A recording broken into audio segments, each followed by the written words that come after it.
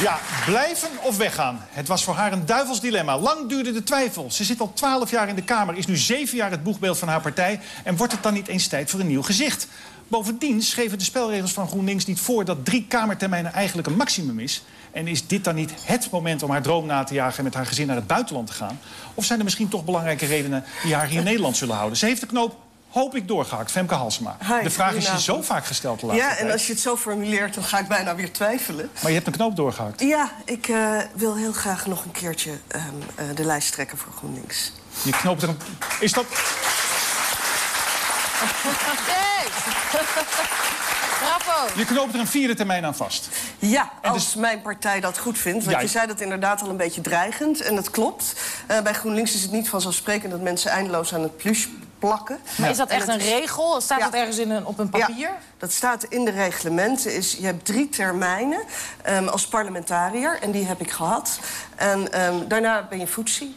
Omdat, je, omdat het niet de bedoeling is dat je, nou ja, laten we zeggen... vanaf je twintigste tot pensioengerechtigde leeftijd in de Kamer Ja. doorbrengt.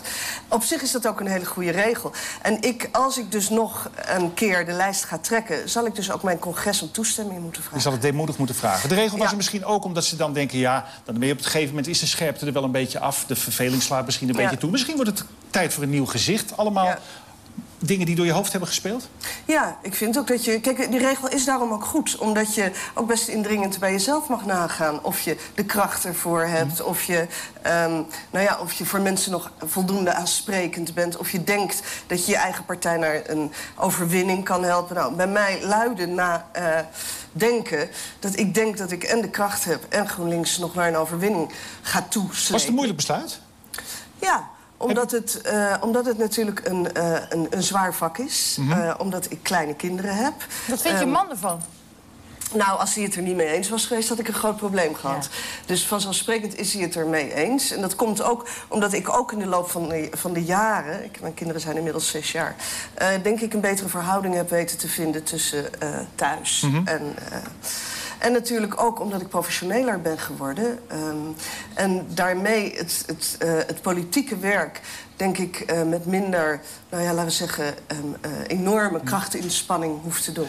Je- je- het kan ook zijn dat je denkt, nou, ik vind het zelf veel te leuk. Dan denk je Ja. een beetje aan jezelf. Je moet ook vooral Is af en toe aan jezelf denken. Maar je kan ook denken, ik kan nu even niet gemist worden... in deze rare, woelige politieke tijd. Ja. Dacht je dat ook? Eh, het is een combinatie van argumenten. Maar begin eens met het laatste.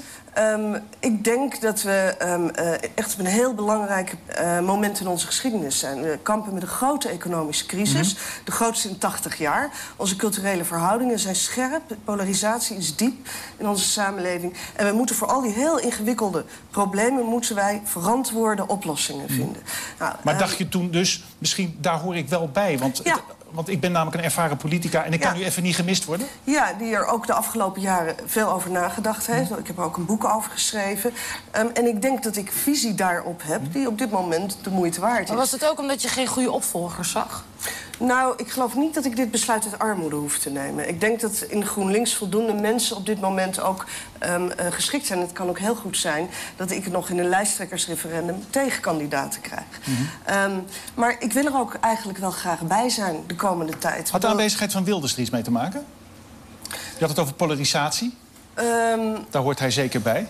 Ja, maar het is voor mij niet bepaald een doorslaggevend argument. Ik vind toch veel belangrijker is dat wij een periode ingaan van hele grote hervormingen. Mhm. Eh, economische hervormingen, daar ligt een opdracht van 35 miljard. En de opdracht voor een linkse en een progressieve politicus zoals ik... is om te zorgen dat de samenleving niet daardoor ehm, ja, armoediger en schraler wordt, maar eerlijker. Dus had het En- er ook iets mee te maken dat je hebt twee verkiezingen verloren? Daar moeten we eerlijk in zijn. Mhm. Je bent een eh, een for- formidabel debater. Daar win je ook veel prijzen mee. Je hebt verkiezingen nog nooit gewonnen. Ho, ho, ho. De Europese verkiezingen hebben wij werkelijk... Troostprijs. Met overmacht. Troostprijs. Nee, kijk, de ontwikkeling die je bij. GroenLinks ziet... Nee, kom, het begin van de klim.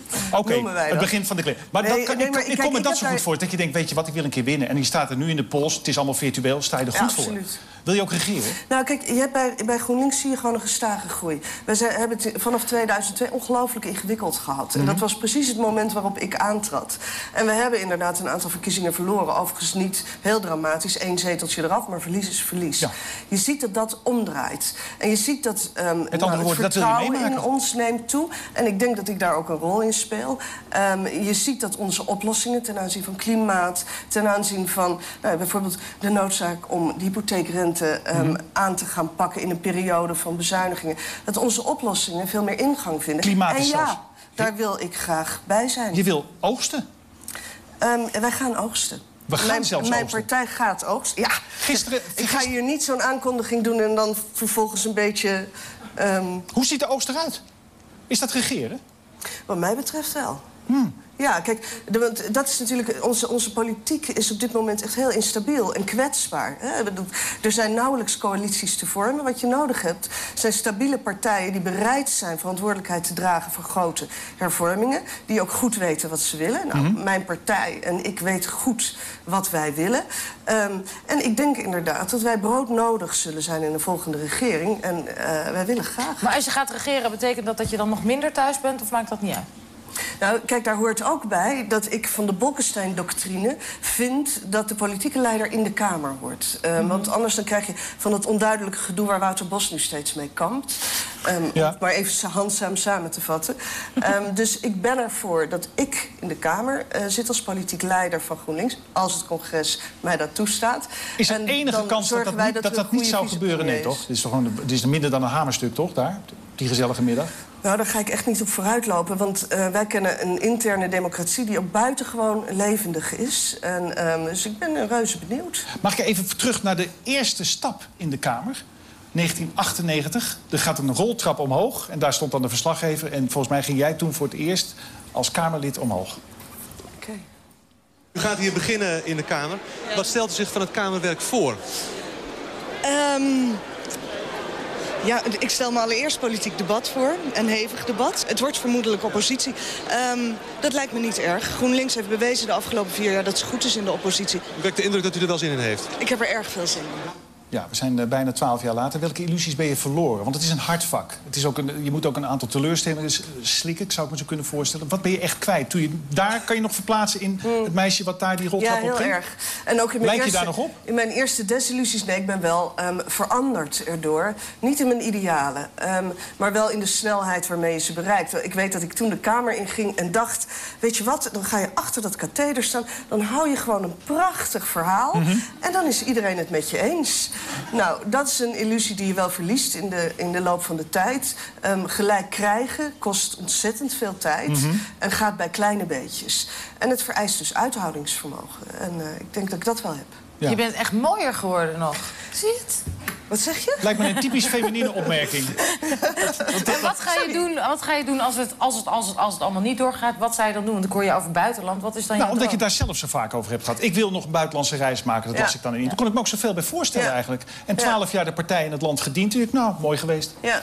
ja, nou ja, kijk, ik, ik kan me nu niet voorstellen wat ik in dat andere geval had gedaan. Want anders kun je zo'n beslissing niet nemen. Ik ben nu bereid en ik heb er ook zin in om er echt vier jaar nog eens hard tegen aan te gaan. Hoe zou zo'n En regering wat ik eruit daar, kunnen zien? wie ik daarna ben en wat ik wil, ik heb geen idee. Hoe zou die regering eruit kunnen zien? Nou, zo links en progressief mogelijk. ja, is dat, En, is dat niet een beetje illusoir op dit moment? Je weet het niet. Ik bedoel, kijk, ik- we zijn van de Partij van de Arbeid bijvoorbeeld gewend... dat ze het ene moment op 50 staan en de an- het andere moment op 15. Ja. Het is echt in dit politieke ehm, eh, eh, gewricht onmogelijk... om een jaar voor de verkiezingen een, voor, een uitspraak te doen over... Dus ik heb geen idee hoe het gaat worden. Ik hoop wel... Wordt er nog wel eens kopjes koffie gedronken? Of is dat nu even, dat, dat, hoort, dat mochten we ook vaak lezen. Betekent dat, eens- kopjes koffie drinken? Ja, dan, worden ze, dan zitten ze bij elkaar te kijken. Nou, kijk, in de, in de vorige periode, toen de drie linkse partijen in de oppositie zaten... is er met name door mij en in tweede instantie door Jan Marijnissen... ook heel erg druk op de Partij van de Arbeid uitgeoefend... om een links kabinet te vormen. Ik zie dat Agnes Kant nu net ehm, eh, weer dat, dat geopend heeft. Hè? Weer een appel doet Stelt op de Mhm. Partij van de Arbeid. Nou ja, dat zal moeten blijken. Het betekent ook dat de SP bereid zal moeten zijn om na te denken over hervormingen. Want de, de SP is wel heel erg behoudzuchtig. Ehm, ik weet niet of je in staat bent om een drie-partijen-kabinet te vormen. Eh, in dat geval ehm, zal ook D66 de beslissing moeten nemen of zij bij links of bij rechts wil gaan Gezellig horen. met Pechtold. Ja, gezellig zeker. Ja, toch? nou, veel, veel, eh, veel succes, want voorlopig eh, zijn we nog niet van u af. Nee, reken maar. Gelukkig niet. Oké.